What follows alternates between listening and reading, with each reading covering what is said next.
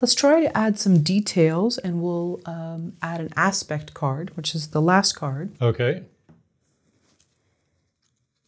So we have glorious, treacherous, wish granting, and cloying. Cloying means clingy or it's like unpleasant. I don't remember what exactly what that word means. Easy to look it up.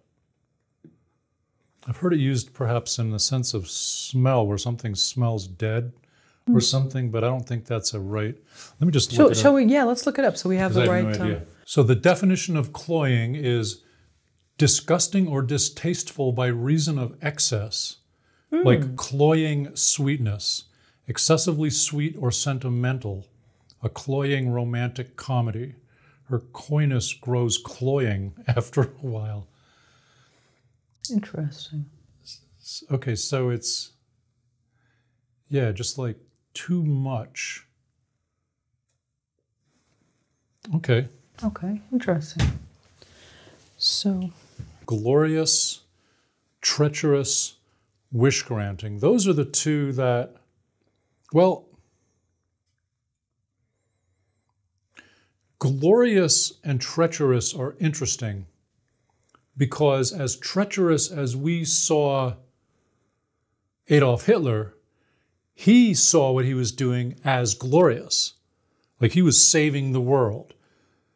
So, the context and the point of view with which you look at these things, like this automaton could be treacherous and yet feel like it's doing the world a huge service.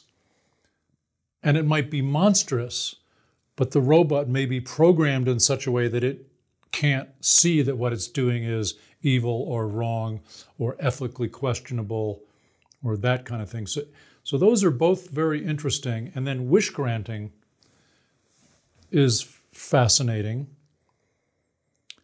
And it's interesting in part because of where quantum physics is going these days and an automaton's ability to um,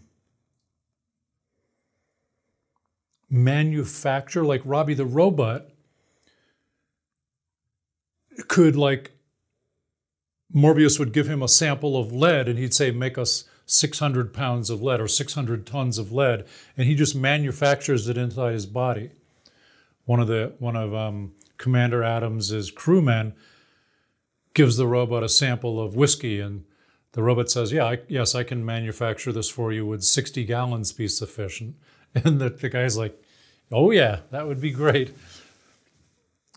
And that's a, a bit of an old school example, but if a if an automaton is tapped into some sort of manufacturing capability, 3D printers, even the ability to gene splice and manufacture highly specific things to order, it opens up a kind of a HAL in 2001 type thing, and obviously a genie type thing, but the capacity to manifest something that was only an idea through like state of the art science and enhanced capacity and access to a like if it if this robot was made by a massive like manufacturing facility it might have access to all of that equipment even if it's stolen access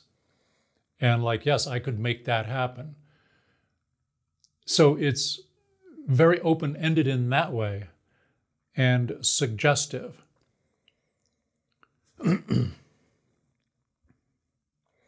But the one that jumps right out at me is treacherous. That like grabs me by the throat. And wish granting is like there's a lot of fun possibilities in that. It's very open-ended And obviously, in any story that has wish granting in it, always has the caveat of you know, be careful what you wished for. Like you wanted it so badly and now you have to deal with it.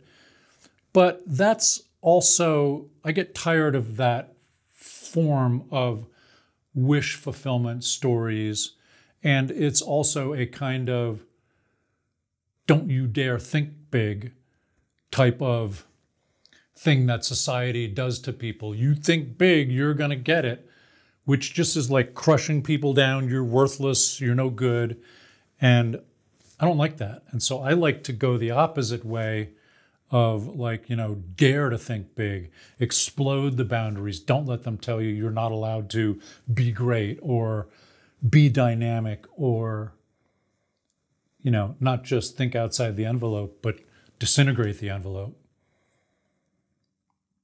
So it's interesting, and it really could, these all, except for cloying, which feels outside the context in a certain way of these things, but also, while I'm not a stranger to the word, it's not part of my normal lexicon. It's not a word that just comes to mind.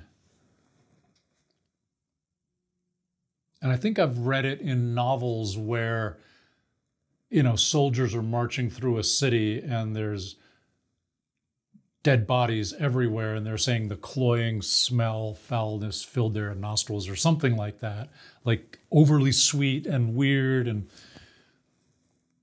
so it, the the few contexts that i have for cloying don't jump out at me at all like these other three I would say treacherous, treacherous and wish granting are the ones that jump out at me the most. Okay. Do you feel we have enough of the cards pulled uh, to make a story, or would you like to pull an extra card um, to build more of the story around? Do you feel like you have enough here? If you were to yeah, I mean, there's enough here to build a story. We're absolutely building from scratch because these are just raw elements. And you know you could build a, a wacko comedy or you could build a brutal thriller or anything in between. So it's very open-ended. You know there's a there's a direction because these things infer certain possibilities and trigger possibilities in my brain. Um,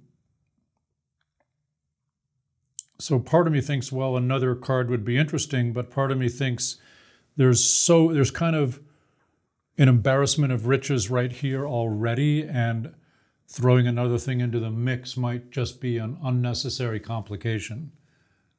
So, so I'm really not sure either way. Okay, well, we can always pull a card later if if okay. needs be.